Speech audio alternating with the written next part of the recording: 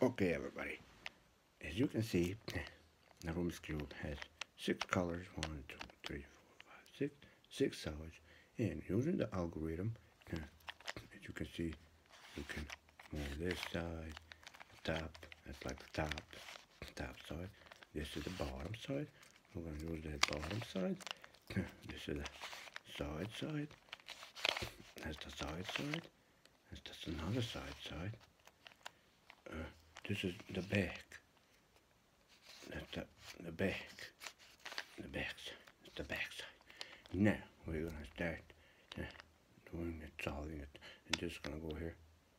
Uh, wait a second. Uh, wait a second. Wait a second. Wait a second. Oh, Mr. Algorithm. Wait a second.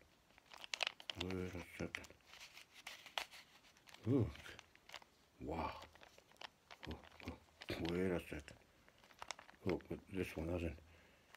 It's. look. Look at look at this. Look at that.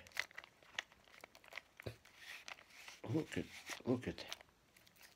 Just trying to move this way, this. I guess Mr. Algorithm needs to go back to school, right?